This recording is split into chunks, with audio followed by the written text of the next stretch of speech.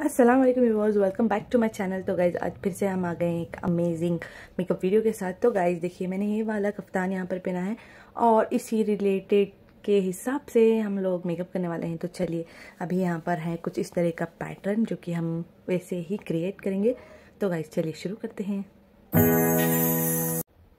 तो गाइज़ अभी मैं लगा रही हूँ अपने लेंस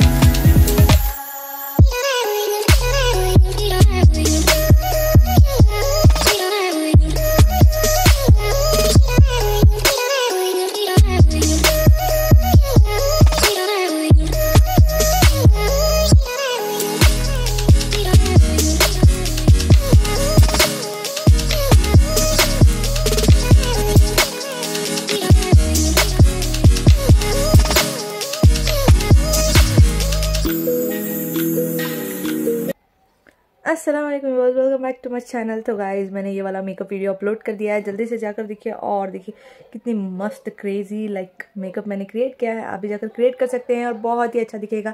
तो चलिए चलते हैं।